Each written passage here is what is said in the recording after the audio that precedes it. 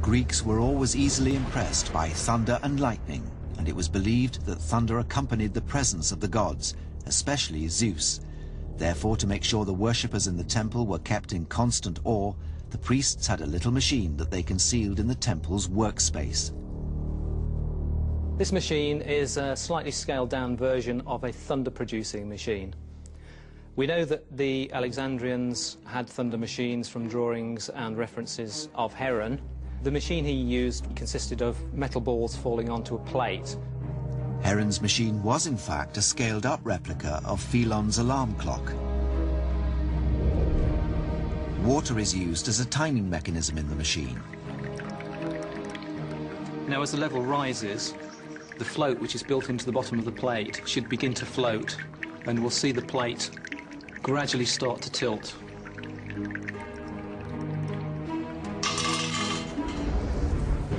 If this machine was sited in the proper position, which would be above the worshippers, perhaps in a ceiling void on a suspended floor, the sound, but also the vibration from the machine, would resonate in the cavity below and it would produce, presumably, fear, panic, a whole host of different reactions. This is a replica of a medieval thunder machine. In writings from antiquity, there are references to similar machines that existed in the ancient world. The wooden box is a tube with a channel running the whole length of it. And within this tube run very heavy metal balls. This is actually an iron ball. And I've deliberately put these little bobbles on the outside to make it clatter more as it rolls. We simply operate the machine by tilting backwards and forwards like a seesaw.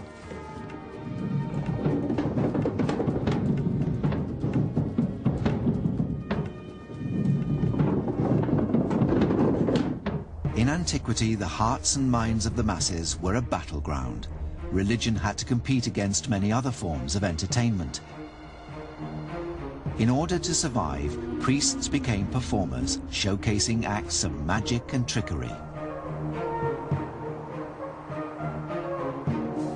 The temple machines of Alexandria were extraordinary and awe-inspiring inventions that attracted many worshippers. People were also drawn to temples because of their beauty, scale and splendor. The priests ensured that their temples were places fit for gods to dwell in. It's a gateway to the gods. It's a house of the gods. And if you're housing an immortal being, it's got to be impressive. In the classical Greek period, the design of temples became standardized Examples can be found not only in Greece, but all around the Mediterranean. Ancient Greek temples were put together in a quite particular way. There's an external colonnade, there are triangular gables or pediments at either end. Inside the colonnade, there's a walled building which you entered through a very, very impressive door. And once you were inside, you would find yourself facing one or more divine statues. The most magnificent image of a god that we know of from the ancient world was a huge statue of Zeus, the most powerful of the gods at Olympia. The statue was famous for its extraordinary size and because it was so lavish. It was covered in gold and ivory and set with precious stones. No doubt the congregation would have been awestruck as it towered above them.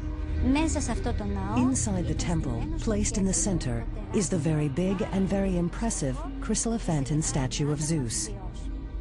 This was the amazing work of the great sculptor Phidias, who having finished the statue of Athena at the Parthenon in Athens, came to Olympia, established his workshop, worked many years, and created this wonderful work, which was regarded as one of the seven wonders of the ancient world.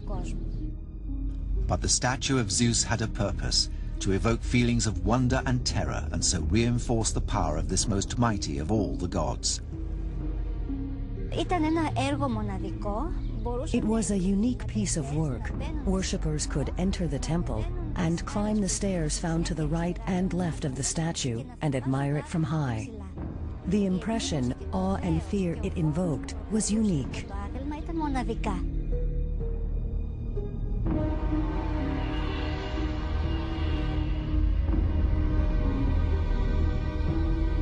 All that remains of the Zeus temple which stood at Olympia are the statues which decorated the front entrance.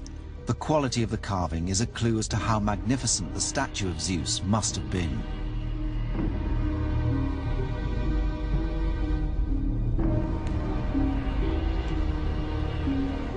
The ancient Greeks were not only masterful artists that could create outstanding works, but they were also able to use their skills to shock. They had the technical expertise to make their statues cry tears of blood. In the ancient world, Heron and the other inventors of temple machines were skillful, resourceful and ingenious. The Alexandrian technologists were all interested in what we would now call physical concepts. The machine we have here is meant to illustrate one of these, how air, when it is heated, expands and so produces pressure. What we have is a sealed vessel. On top is a small fire, which would be the altar fire or temple fire. When the priest lights the fire to make the offering, the heat from the flames warms the air inside this chamber. The air then is pushed down the little tube into the receiving vessel, which holds, in this case, the fake blood. The pressure of that then forces the liquid through the tube here and up into the statue, and it will then go through two tiny holes in the tear ducts in the eyes of the statue. This was the type of mechanism at which Heron excelled. He used fire to push air into sealed containers. These in turn then moved fluids around other pipes, the effect was startling and could be used for devices such as the crying statue. But is it possible to recreate Heron's device using his technology? The hope was that as the fire heated the air, the air would expand and push through into the sealed container.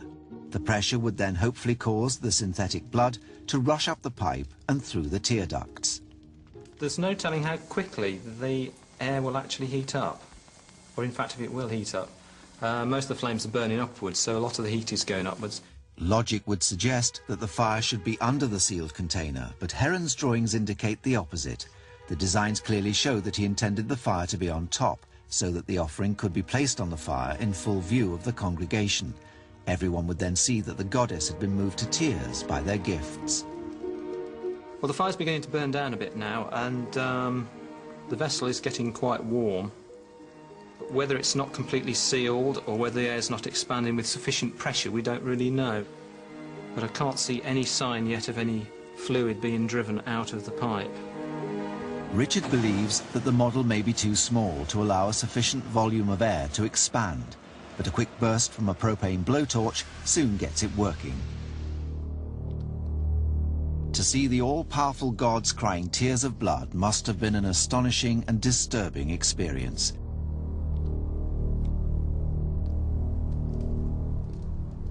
Heron's designs, unrivaled in their brilliance and ingenuity, and his use of physics and hydraulics, provide tantalizing information for ancient technology experts like Richard Windley.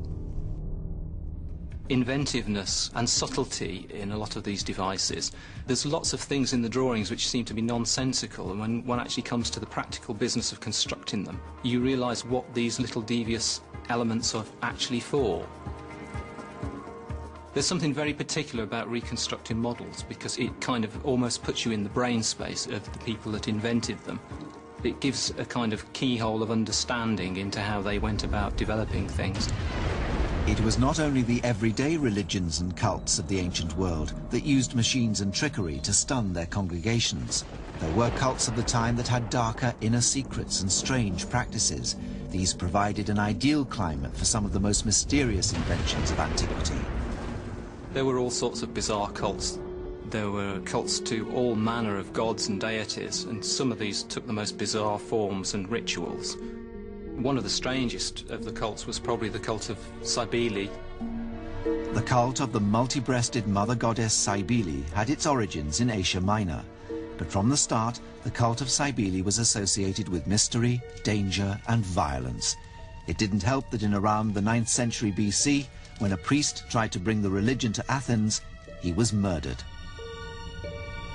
It's a cult which was given to extremes that were extremely unpalatable.